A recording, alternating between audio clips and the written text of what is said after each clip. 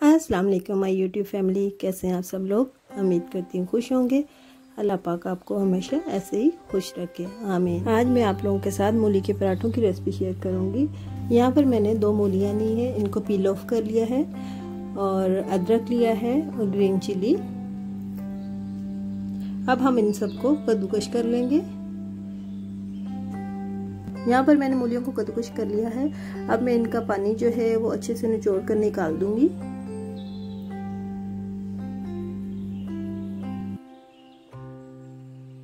यहाँ पर मैंने मूलियों का पानी अच्छे से निकाल दिया है। अब हम इसमें अदरक ऐड करेंगे।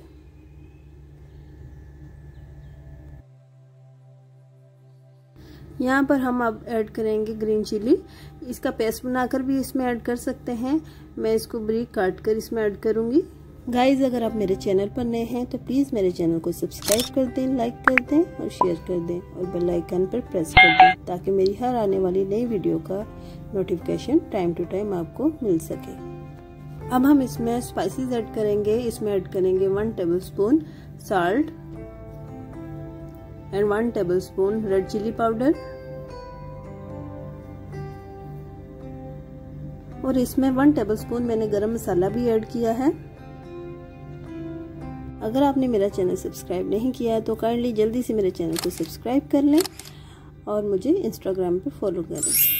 यहाँ पर मैंने लिया है धनिया और पुदीने के कुछ लीव्स उनको अच्छे से वॉश करके कट कर लिया है। वो हम मूलियों में मिक्स करेंगे अब। इन सब चीज़ों को अच्छे से मिक्स कर लेंगे।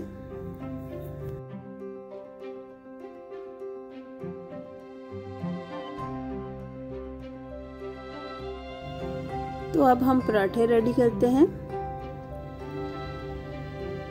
हमने छोटे छोटे साइज़ में आटे के पेड़े कर लिए हैं।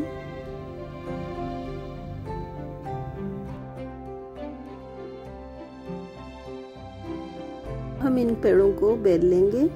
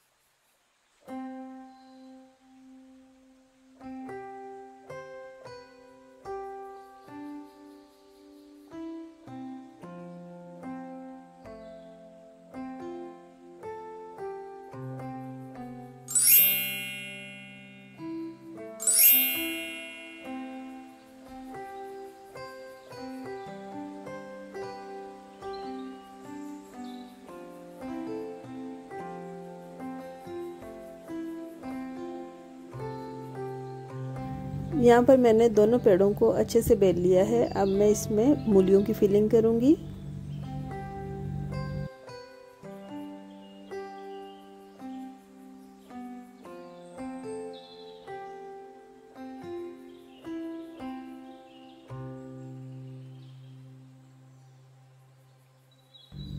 मूलियों की फिलिंग करने के बाद हम दूसरे पेड़े को अब इस पर कवर करेंगे और चारों तरफ़ से अच्छे से दबाएँगे।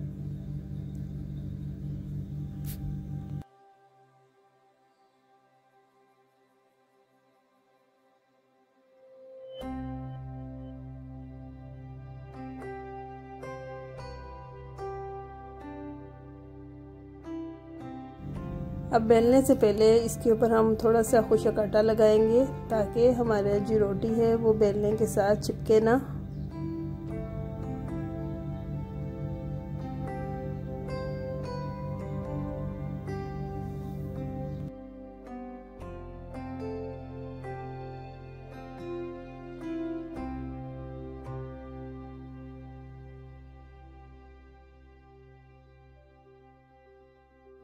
यहाँ पर तवे को हमने हल्का सा गरम कर लिया है। गरम करने के बाद इसके ऊपर हम हल्का सा घी लगाएँगे। एक दो मिनट रोटी की साइड पकने के बाद हम इसको पलट देंगे।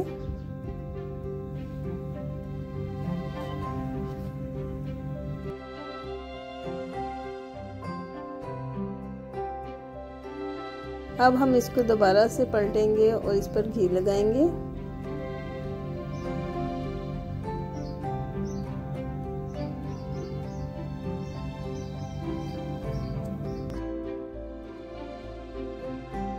घी लगाने के बाद चूल्हे की आँच को हम हल्का रखेंगे ताकि पराठा हमारा जले ना और जो मूलियाँ हैं वो अच्छे से अंदर से कुक हो जाएँ।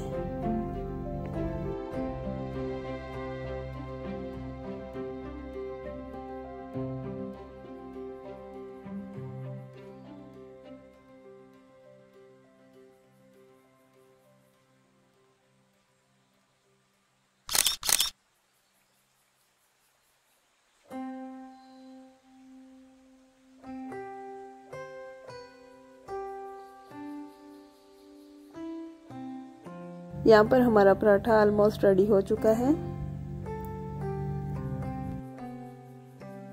आई होप गाइज़ आपको मेरी ये वीडियो पसंद आई होगी। प्लीज़ मेरे चैनल को सब्सक्राइब कर दें लाइक कर दें और अपनी दुआ में याद रखिएगा, अपना बहुत सारा ख्याल रखिएगा। मिलते हैं इंशाल्लाह फिर एक नए व्लॉग के साथ। ओके जी, अल्लाह हाफिज़, फ़ी अमानिल्लाह